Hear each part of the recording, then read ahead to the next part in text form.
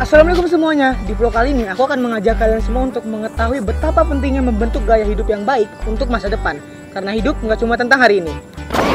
Kamu tahu nggak, pada bulan Agustus 2019, berdasarkan website anyus.id, terdapat 737 ribu lulusan universitas yang menjadi pengangguran.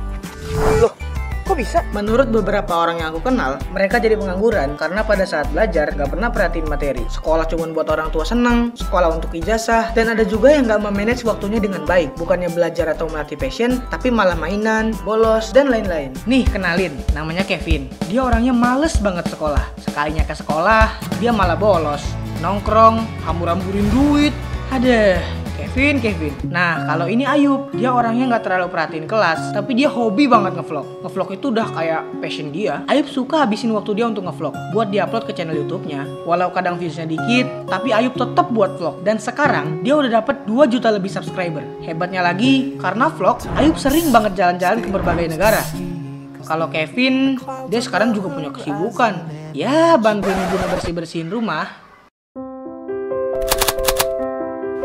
Dari kisah dua teman aku barusan, kita bisa contoh si Ayub. Walaupun kadang dia nggak perhatiin kelas, tapi dia udah mulai pikirin masa depannya. Dia selalu sisihin waktu dia untuk ngelatih passion dia. Karena Ayub tahu, hidupnya nggak cuma tentang hari ini. Jadi, dia harus mulai planning masa depan dia dari hari ini. Kalau si Kevin sih, jangan dicontoh deh ya. Nanti kalau kita udah gede, masa mau nganggur di rumah doang? Kan sayang 16 tahun belajar di sekolah. Terus apa yang harus kita lakukan biar masa depan kita tertata rapi? Terutama di masa pandemik ini. Pertama, mulailah planning masa depan kamu. Temuin passion kamu. Kamu mau jadi apa? Mumpung lagi stay at home, justru ini waktu yang sangat tepat untuk kamu bisa latih passion kamu. Biar pas waktunya tiba, kamu sudah sangat siap. Kedua, kurangin atau bahkan hindarin aktivitas yang menghamburkan waktu dan uang kamu. Daripada dipakai nongkrong di kafe mahal demi kebutuhan instastory, mending duitnya ditabung atau investasi untuk menunjang passion kamu di masa depan. Di Bank BTN contohnya. Nah, ini ada tips biar masa depan kita lebih nyaman, damai, dan santuy. Mulai hari ini, kamu harus udah mulai perhatiin jasmani, finansial, dan rohanimu. Jasmani itu penting banget. Emang kamu mau pas sudah tua, banyak duit, tapi mau jalan aja susah. Jadi harus berbanyak olahraga deh dari sekarang. Finansial juga sangat penting. Kebayang nggak kalau kita udah jadi kakek-kakek, nggak punya duit,